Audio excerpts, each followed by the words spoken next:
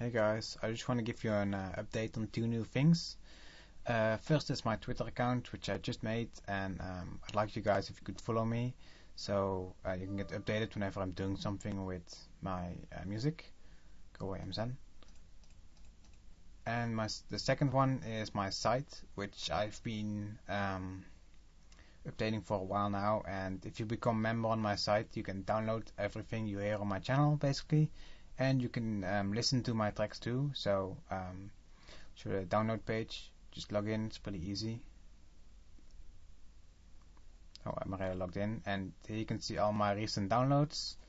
Um, any tracks, any albums that came out pretty recently will be on there and will be on there for, for a long while. And you also have the podcast, which is also available for members only.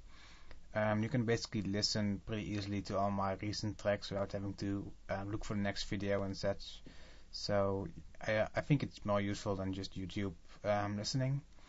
Um, being a member is uh, free and you'll be updated like once every few weeks whenever I put new stuff on the site.